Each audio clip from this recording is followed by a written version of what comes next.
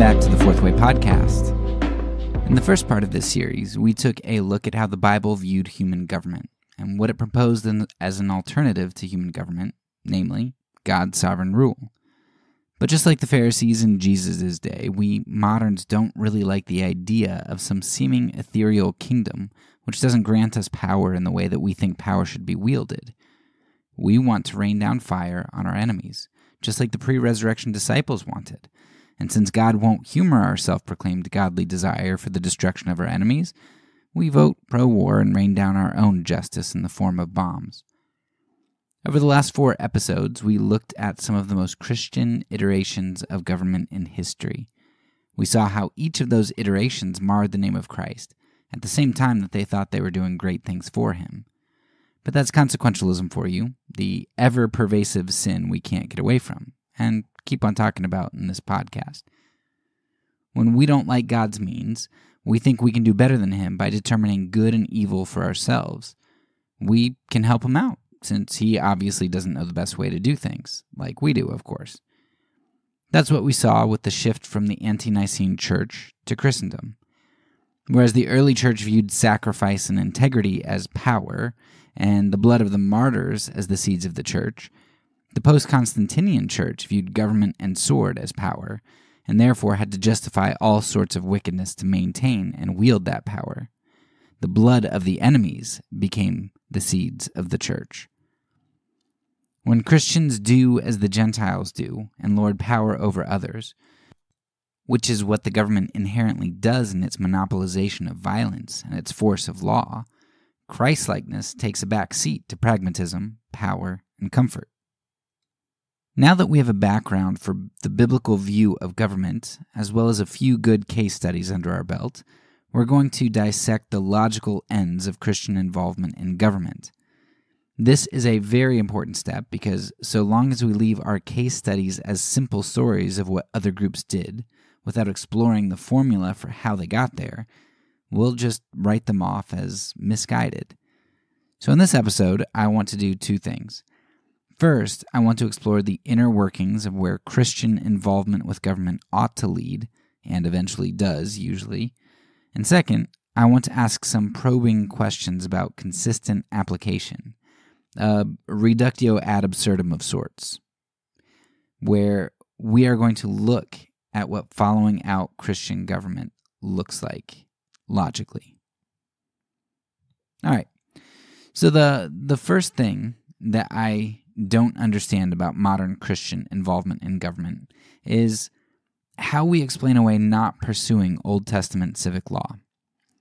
Conservative Christians are abhorred by Muslims in places where they want to institute Sharia law and act as if mingling religion and politics is is just absurd.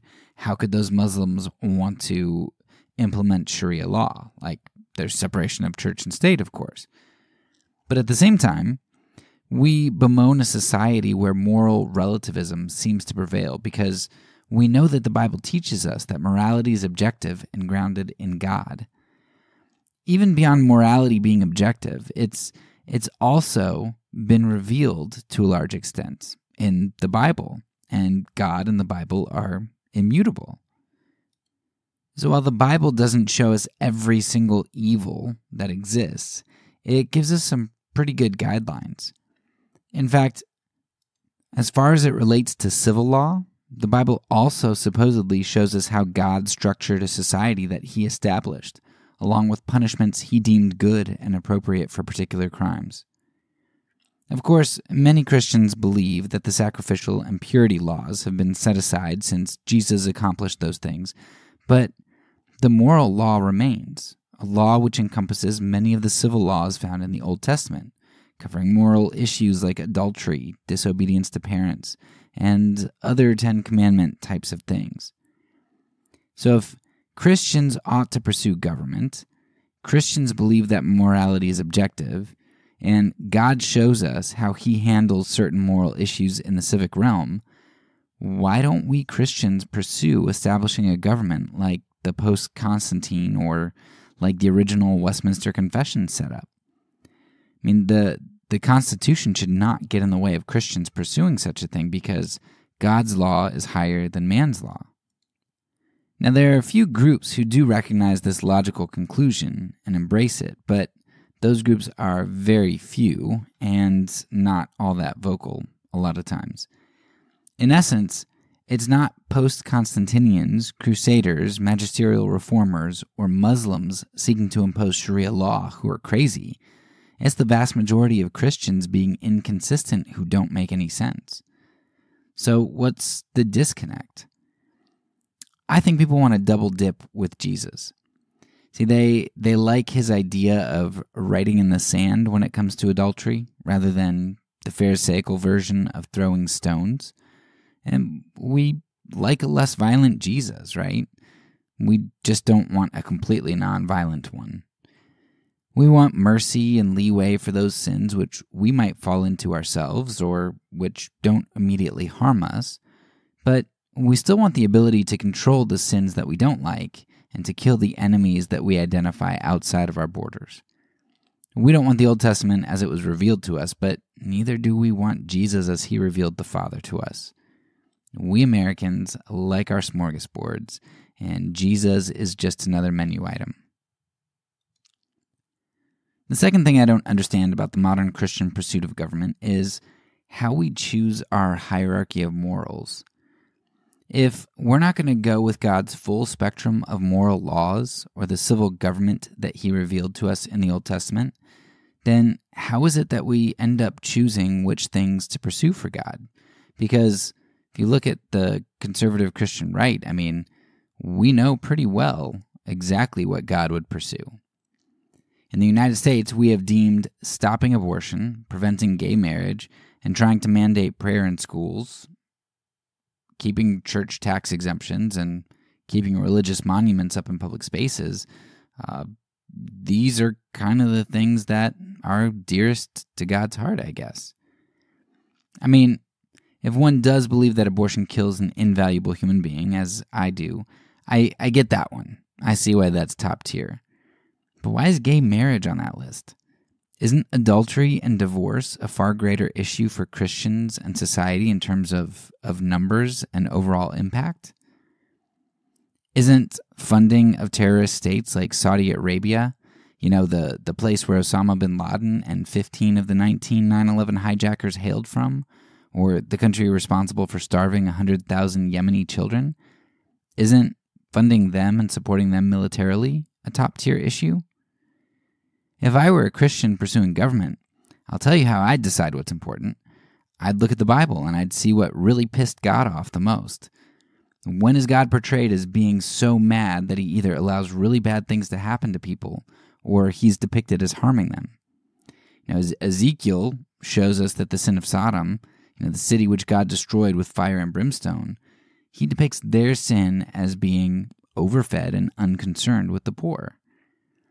When Israel was sent into exile, while, while idolatry was a significant issue, so also was the oppression of the poor and the vulnerable. That was as big of, if not a bigger issue. And what about the New Testament? We see two instances in the New Testament that I know of, that I can think of at the moment, where God is linked with a New Testament believer's death. One of those is when Ananias and Sapphira lie about their generosity in donating to the church, presumably donations to help those in need, because, you know, that's what the church used the donations for. The other time that death is depicted as a result of sin is the famous communion passage. While most people view the communion warning as something which uh, drives them to sift out every sin in their lives before taking communion, the deaths that we see as a result of partaking in communion unworthily actually stem from a very particular sin the rich eating and partying at the table while the poor had nothing to eat. So people actually died from that. It says some have fallen asleep because of doing that, that very particular thing. The Bible is filled with God's concern for the poor and vulnerable and his displeasure and judgment upon those who take advantage of these groups or who refuse to help.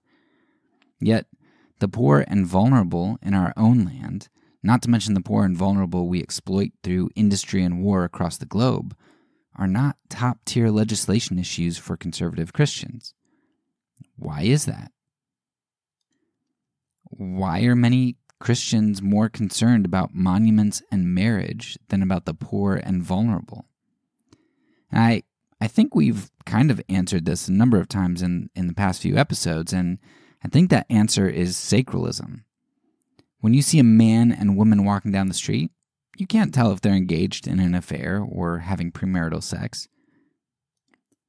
But if you see two guys holding hands, that breaks the illusion that we're in a homogenous Christian society. Christians in a sacral society have to defend the appearance of homogeneity because their religion is a house of cards. It's largely surface, it's appearance. Monuments, and God we trust on currency, fealty oaths to God and country every day in school, all of these things are shallow actions, but actions which bind us all together. Whether Christians know it or not, it's not Christianity that a lot of them really care about losing because a relationship with Jesus can't be lost. What it is they really care about losing is the glue of society which makes their lives comfortable and gives them power in a society. The things which prevent them from bearing cross, I guess. You know, when we have a sacral Christian society, even if most people are only cultural Christians, politicians can't be open about being an atheist or gay because they risk losing votes. Sacralism forces everyone else to play the game, and Christians love the game so long as it's on our terms. But when the tide shifts, the house of Cards crumbles, uh, and it drives those who benefit from sacralism crazy. We, we hate it. So, why do conservative Christians legislate marriage and monuments, but despise politicians who are doves and seek to help the poor? because the former are sacral acts and the latter aren't. The former garner power for our group, while the latter cost us. And of course, our group hates it when the other group ends up trying to manipulate and control language when really that's the game we're playing anyway. All right, so a Christian government followed to its logical end would essentially be a theocracy where we cared about all objective morality, especially the morality as laid out by God in the Bible. The, the, the parts that didn't pass away, like the, the sacrificial laws. And it would also look like a society where we cared about issues like poverty and justice, because God talks a lot about those things. And this society would also care about group cohesion or maintaining its sacralism. If uh, if the government's role is to punish evil and promote good, then you can't really get much more evil than denying God or more good than worshiping God. So, previous Christian societies essentially required that everyone adhere to their religion, which we kind of think is is barbaric. You know, when we talk about the Crusades or uh, post Constantinian um, nations, Rome, whatever, or the magisterial reform were kind of like, man, they're they're kind of barbaric. Um, but it, it really makes sense that they did what they did because the religion and the law are essentially intertwined. I mean, you you can't really have it any other way because the religion informs the law, and the law promotes what is good and punishes what is evil, which is informed by religion. But of course, we we can recognize that we don't like that. There seems to be a problem when religion takes over government and legislation because then they then they become intertwined. And Verduin in his book The Reformers and Their Stepchildren identifies why this is is a really big deal because there's an implication. If we if we take these first two um, two issues that we've identified and we say, okay, well, sacralism kind of makes sense following uh, that understanding, then what implication does sacralism have for society? And here Verduin, uh, quote, Needless to say, sacralists will be embarrassed at this point. They have no receptacle into which they can put a person who can no longer be carried on the church's rolls. If he is to be put out of the church, he will also and simultaneously have to be put out of society, that is, exterminated that is put outside the boundaries. if the ecclesiastical community and the societal community are one and the same thing, merely seen from different vantage points, then he who is expelled from the former cannot be allowed to remain in the latter. A society controlled by those whose religious beliefs actually inform their legislation seems to necessitate sacralism, and sacralism requires the harshest of defenses. If someone commits debauchery, their sin was one of lust and weakness. We can kind of deal with that. But if someone goes against the sacralist formula, this is willful treason and rebellion. For such things, one is excommunicated from the church. But if the church and state are intertwined, to be excommunicated from the church means to be excommunicated from the state, either through exile from the land or from life.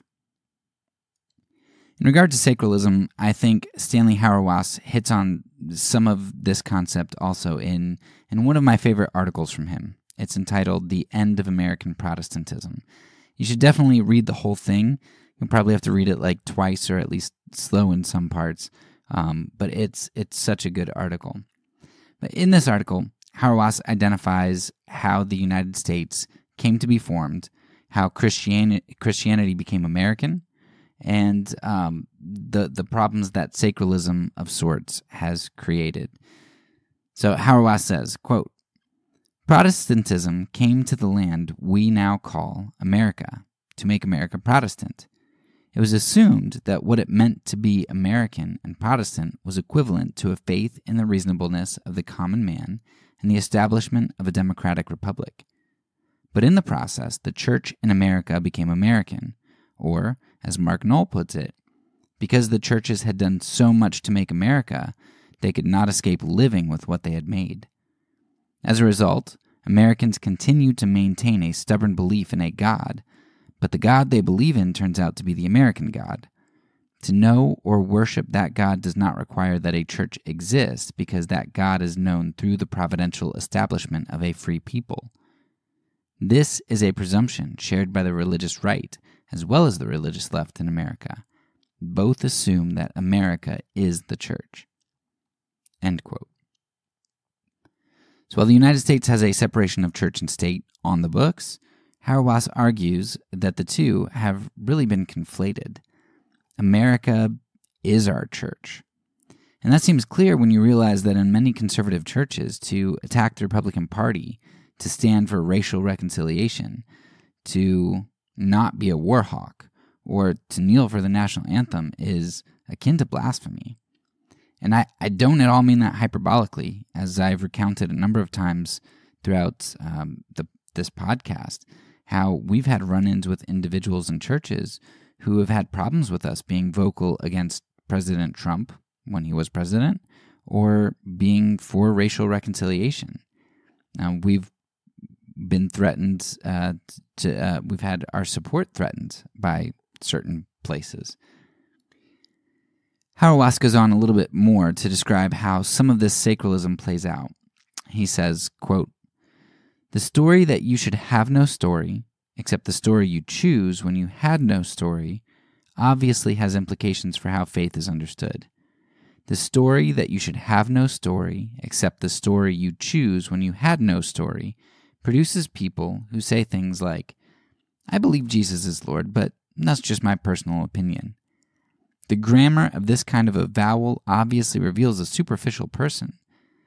But such people are the kind many think crucial to sustain democracy, for such a people are necessary in order to avoid the conflicts that otherwise might undermine the order, which is confused with peace, necessary to sustain a society that shares no goods in common other than the belief that there are no goods in common.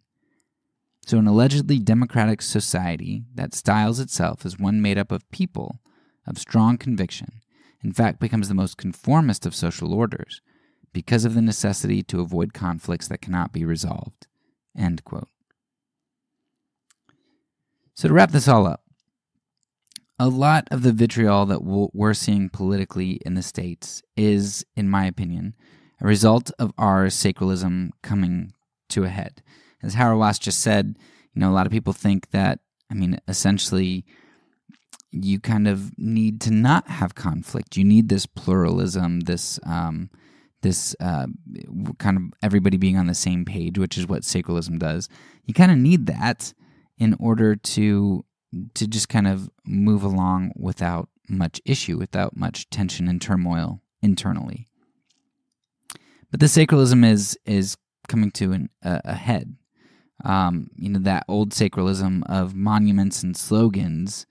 Um, it it really isn't going away, even though we see the monuments toppling and the slogans being attacked, and um, you know new people coming out on currency. Um, sacralism isn't going away. It's it's really just changing. See, uh, American Christianity taught our society about sacralism and how powerful it is, and we're still clinging on to it. But now another side is seeking to to hijack and take that. Whether it's erecting new monuments or sacralizing language to punish those who don't say things the right way or who don't say the right things or show the right emotions at the, at the um, you know appropriate times for the appropriate reasons or whatever else. We're not getting rid of sacralism. It's it's just that the new group is taking over. This shifting of power is what has so many Christians up in arms, whether they know it or not. Because most Christians don't think that they're they're up in arms because power shifting. They're up in arms for morality, right? At least the morality that they identify. When when we were killing hundreds of thousands of Native Americans, uh, or millions of them, uh, and enslaving millions of Africans, I don't know that I could say that our society was really better off than morally, right? But they sure did look more Christian, didn't they? Judging by at least their language or whether or not they went to church on Sunday. Modern conservatives convince themselves that the United States today is worse because they're judging it by the sins that they cherry pick, not by the sins or the civil laws that God laid out in the Bible, and not by the sins that we know God really hates, like injustice and oppression. But really, Christians, conservative Christians, are, are upset at losing appearances, losing power. We're upset that is going away, or at least that it's it's shifting hands. You know, I, I do thank God that American sacralism is falling away because I see how such a thing played out at various times in history. I'm so, so grateful that American Christian sacralism um, has has not taken hold as it did elsewhere. That American Christian sacralists have been inconsistent in their application of religion and government. I'm I'm so thankful for that because our history could have been much bloodier and nastier than it already is. Now, if you're a Christian who believes in objective morality and that we should participate in government, I think you have quite a lot to work through here. How do you pick and choose which evils you punish and how severely you punish those evils? Because I can pretty much guarantee you, you're not picking and choosing the evils that God has picked, and you are not, um, you are not punishing them in the ways that God has shown us He likes them to be punished according to His His civil laws. How do you justify not pursuing a theocracy of sorts? What insight do you have that the greatest pro government Christian minds didn't have? Men like Augustine, Aquinas, and Calvin, all of whom took laws and their punishments to many of the logical ends that we discuss today. I can point to a tradition, the ante Nicene tradition, and explain how I arrive at the conclusion of no king but Christ. But how do you throw off 1800 years of church history and their handling of government over those 1800 years. Actually, 1500 years if we take out the ante Nicene church. Um, how do you think that, that we're more enlightened in the last 200 years than they were in the 1500 preceding that? There's so much to deal with here. And, and I don't see how Christians justify splitting the middle on this one.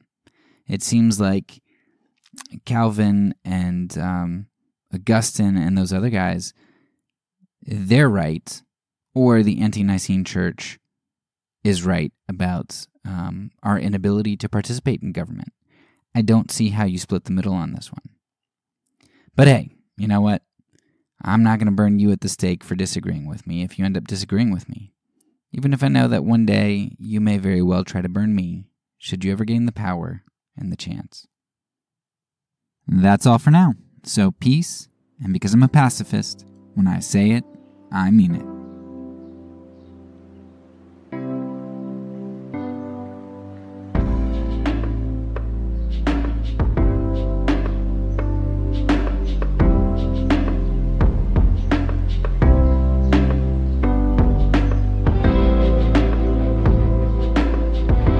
This podcast is a part of the Kingdom Outpost Network. Please check out the links below to find other great podcasts and content related to nonviolence and kingdom living.